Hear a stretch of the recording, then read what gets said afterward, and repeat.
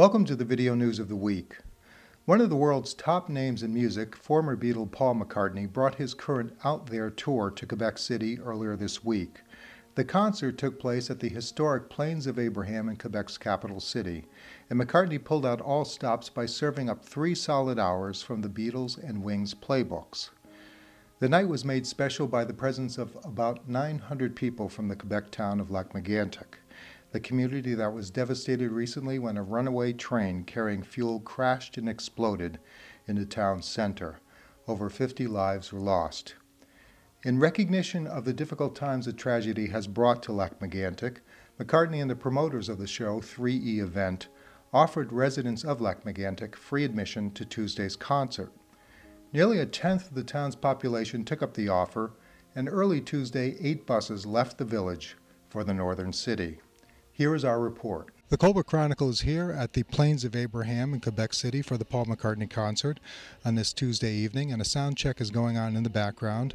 And shortly will be the arrival of the citizens of Lac-Megantic, Quebec, and 900 citizens are expected to be here shortly. At 7:30, the gates opened, and an estimated 45,000 fans poured into the park. McCartney served up a vast array of songs he has been associated with through the years.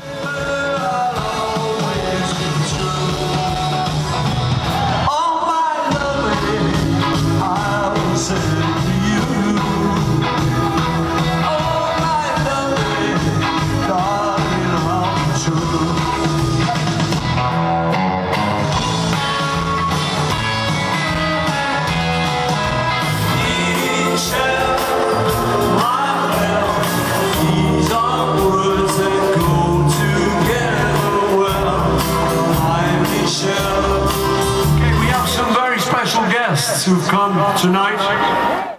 During the show, McCartney recognized his special guests and dedicated Let It Be to the people of Lac-Megantic. So with that in mind, je voudrais dédier cette chanson aux gens de Lac-Mégantic.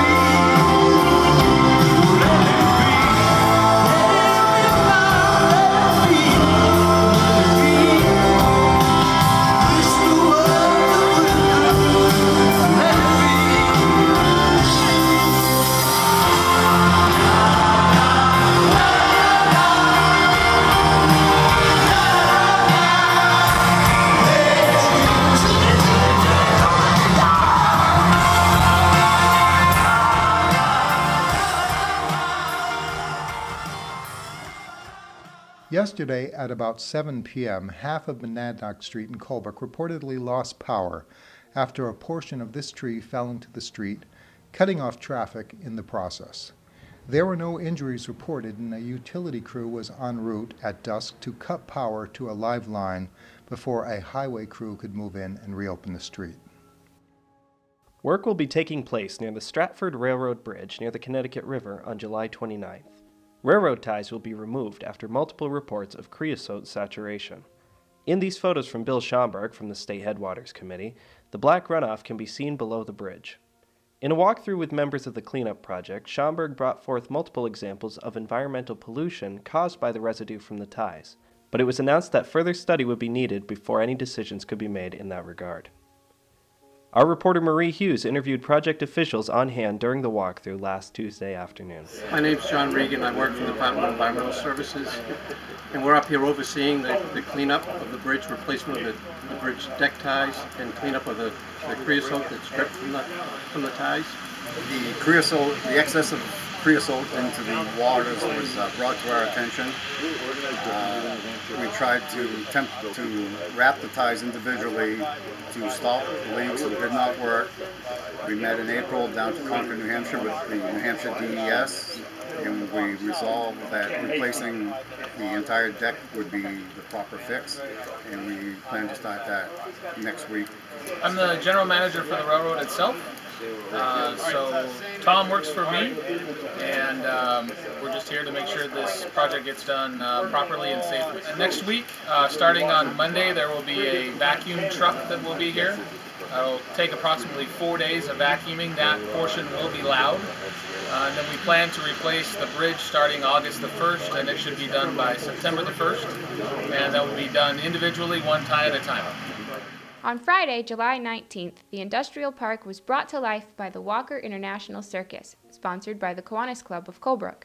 There were two showings, one at 5:30 p.m. and another at 7:30 p.m. that were both packed full. The show included fire breathing, balancing acts, juggling, face painting, and animal rides for the kids.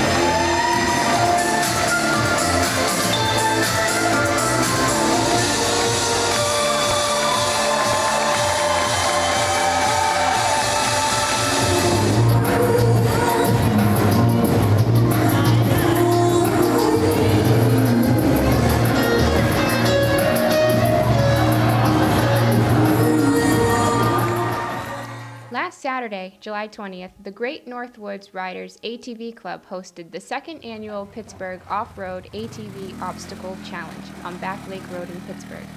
Contestants competed for the best time while navigating their ATVs over rocks, logs, and tires and through the mud.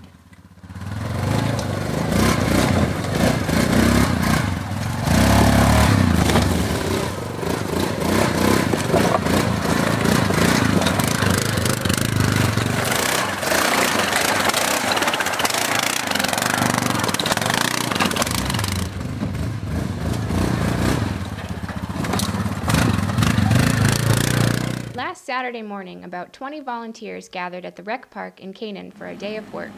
Progress was made on the new shuffleboard, installing some new equipment and adding electrical outlets for the Moose Festival, and to put up swings for children to use by the gazebo. This past weekend, it was the 38th annual Quebec 4 H Provincial Rally. Every year it is held at a different location, this year being Cookshire's turn. The weekend started on Thursday with the arrival of the animals, and the grand opening ceremonies took place with over 100 4 H members in attendance. Friday morning was the public speaking competitions, rope and halter making competition, and at 6:30 it was time to get dressed up and strut in the costume class. In this, the animals were dressed up along with the children, competing for prizes. The weekend all wrapped up at around 7 p.m. with a banquet.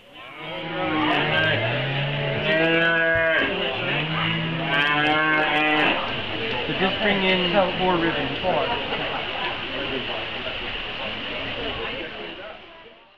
The Colebrook Chronicle Video News of the Week is sponsored by the Upper Connecticut Valley Hospital in Colebrook. Visit their website at ucvh.org. Compassionate healthcare close to home. LaPerle's IGA of Colebrook. Great deals and instant coupons can be found on their website at laperlesiga.com. Colebrook Plumbing and Heating in Colebrook. Why heat with oil when you can heat economically with wood? Come see our whole house wood boiler solutions currently on sale. Murphy's Steakhouse at Bear Tree in Pittsburg. Enjoy casual fine dining, a cozy atmosphere, and wonderful food. Try the chef's table on Sunday evenings. And by Woodsville Guaranty Savings Bank. Friendly local people, friendly local bank. And open seven days a week inside Lancaster Shaw's. Look for a warm and partly cloudy forecast in the coming weekend. Friday brings a high of 81 with a low of 60. Saturday rises a bit to a high of 83 with a low of 68, and Sunday rounds out the weekend with a high of 78 and a low of 65 degrees.